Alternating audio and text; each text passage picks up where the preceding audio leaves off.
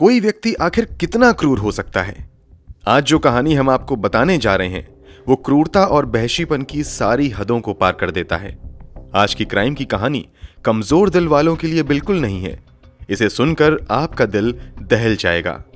Crime ही कुछ ऐसा है, जिसके बारे में जो भी सुनता है, उसके हाथ पाँव फूल जाते हैं, ये सोचकर कि क्या कोई इंसान इतना बड़ा दरिंदा भी हो सकता है।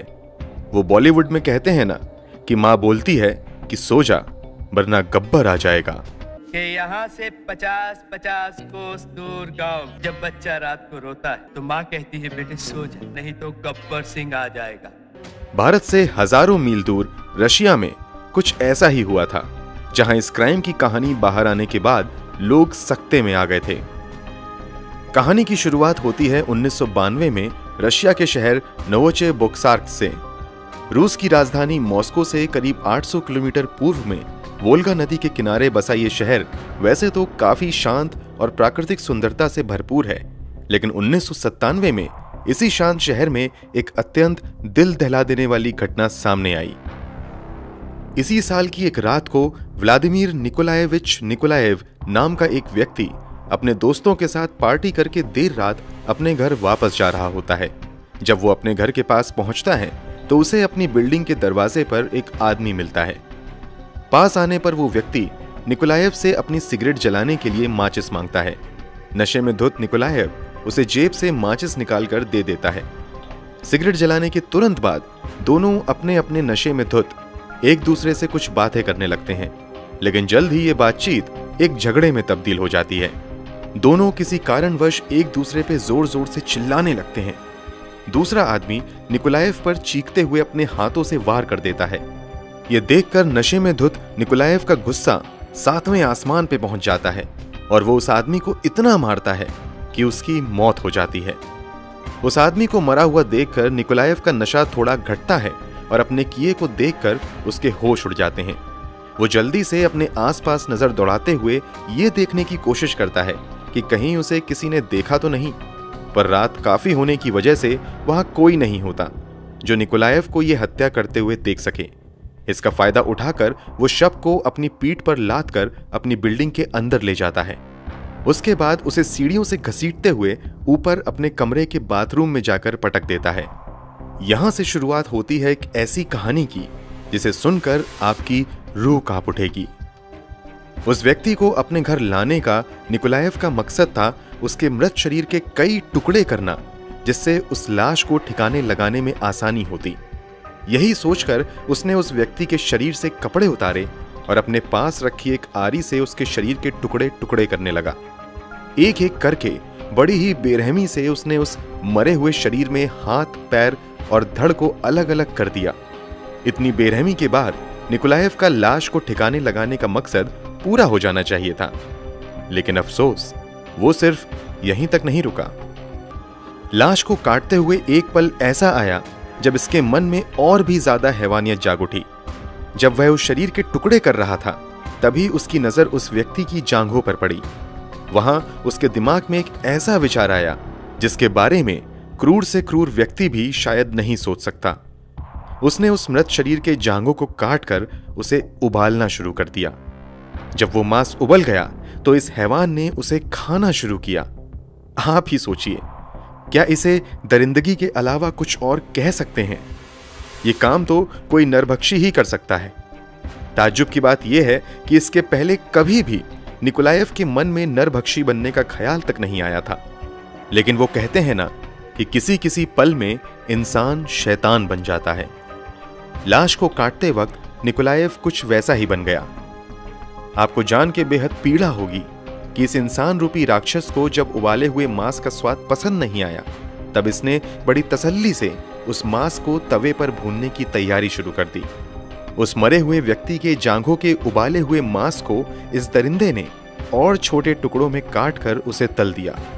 इस तले हुए मांस को खाकर निकोलायव को मज़ा आया और धीरे धीरे इंसान का मांस उसके लिए एक स्वादिष्ट भोजन बन गया।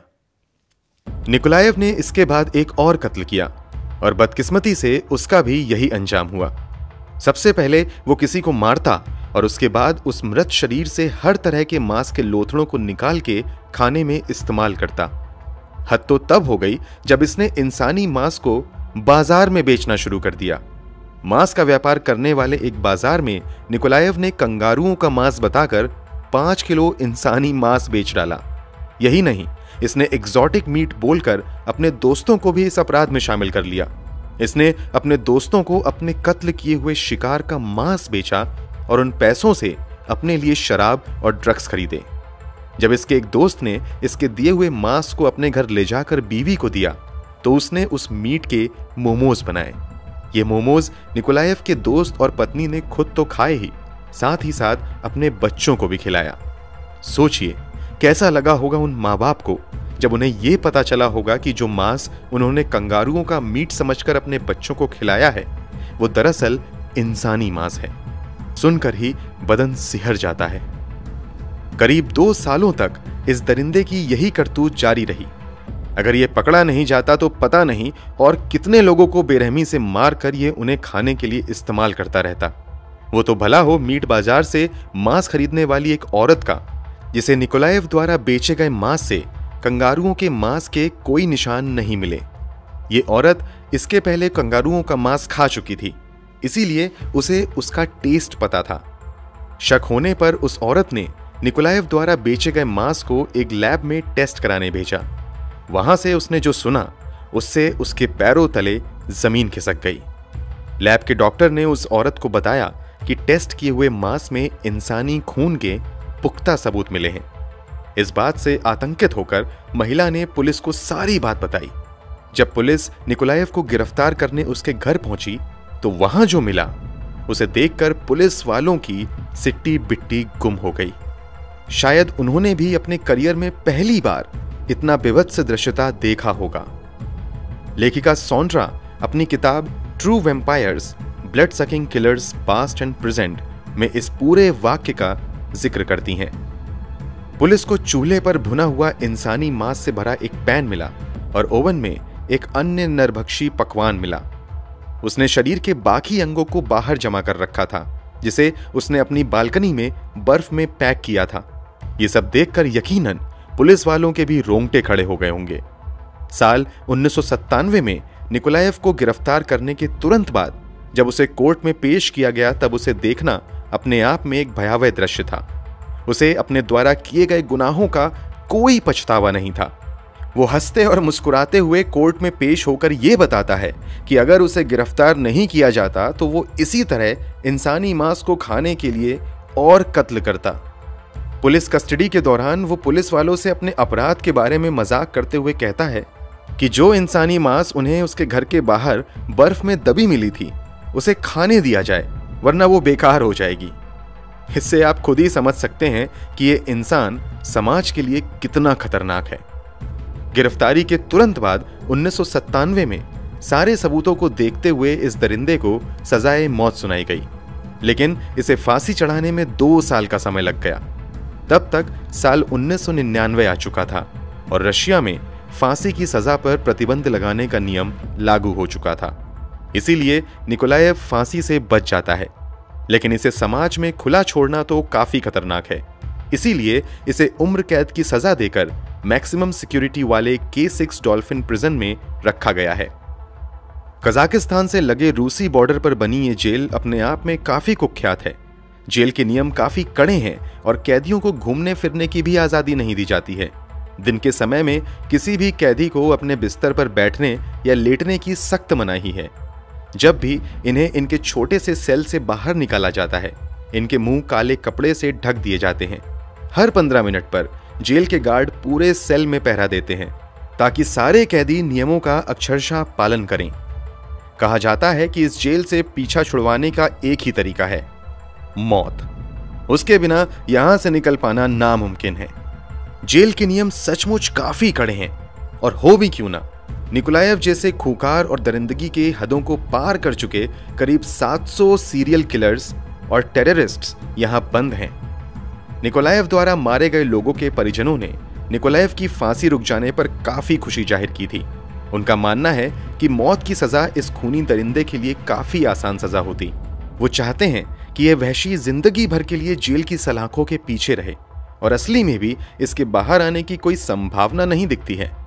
इसे ज़िंदगी भर के लिए इसी जेल में सड़ना होगा। शायद ये इसके पापों की थोड़ी उचित सजा हो। अगर आप सोचेंगे कि इतना भयावह काम करने के बाद और ब्लैक डॉल्फिन जेल में ज़िंदगी भर के लिए सड़ने की सजा मिलने के बाद इस दरिंदे को कुछ तो अकल आई होगी। अगर आप ऐसा सोचते हैं तो आप बिल्कुल गलत सोचते हैं। इस इंसान में अपने किए का एक रत्ती भर भी पछतावा नहीं है। बल्कि अपने द्वारा किए गए खौफनाक अपराधों के बारे में ये विस्तार से और बड़े चाव से बताता है। नेशनल जोग्राफिक चैनल की एक documentary, inside Russia's toughest prisons के सिलसिले में, जब निकोलायव से कैमरा के सामने अपने अपराधों का ज़िक्र करने को कहा गया तो इसने बड़ी ही बेशर्मी से हँसते और मज़े लेते हुए पूरी कहानी बयां की। इस डॉक्यूमेंट्री को देखकर किसी भी इंसान का मन कुंठित हो जाएगा। जब निकोलायव अपनी जुर्म की दास्तान सुना रहा था तो उसे देखकर वहाँ बैठे जेल वार्डन और बाकी पुलिस वालों के भी होश उड़ गए। वे सकते में आकर बिल्कुल सन्न होकर इसकी बातों को सुन रहे थे। मानो उन्हें विश्वास ही नहीं हो रहा हो कि कोई इतना बड़ा अमानुष कैसे हो सकता है। आप भी इसके चेहरे और हाव भाव को देखकर सन्न रह जाएँगे। फ़िलहाल, निकोलायव ज़िंदगी भर के लिए उसी जेल में बंद रहने को मजबूर है। फ़िलहाल वो तिरसठ साल का हो चुका है। और उसके किए गए अमानवीय जुर्म भी तीस साल पुराने हो चुके हैं। लेकिन आज भी इसे रशिया के सबसे बुरे अपराधियों में गिना जाता है। एक ऐसा कैदी जिसका सुधार संभव ही नहीं है। क्या आपको लगता है कि इसे आजीवन जेल में रखना एक उचित सजा है? या फिर इन जैसे खतरनाक दरिंदों के लिए कोई और ऐसा कानून होना चाहिए जो इनके किए गए जुर्म के बराबर हो? हमें कमेंट सेक्शन में ज़रूर बताएँ। अगर आपको इस वीडियो में दी गई जानकारी पसंद आई हो तो इसे लाइक करें और हमारे चैनल को सब्सक्राइब करना ना भूलें। हम जल्द ही हाजिर होंगे क्राइम की एक और कहानी के साथ। तब तक अपना और अपनों का ख्याल रखें। नमस्कार।